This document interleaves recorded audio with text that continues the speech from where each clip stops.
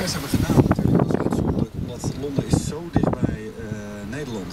Dat we, ja, we hebben geprobeerd iedereen wel, eh, eh, wel te eten. Dus dat geeft wel een grote praktijkhuis.